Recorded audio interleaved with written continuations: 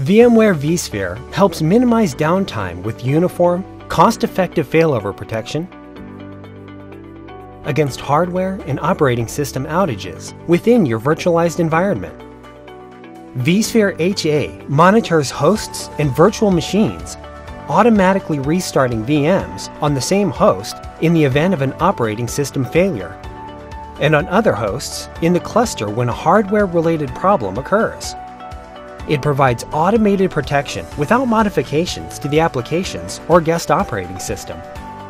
Moreover, vSphere Fault Tolerance delivers continuous availability for applications by creating a shadow instance of a virtual machine that is in lockstep with the primary VM.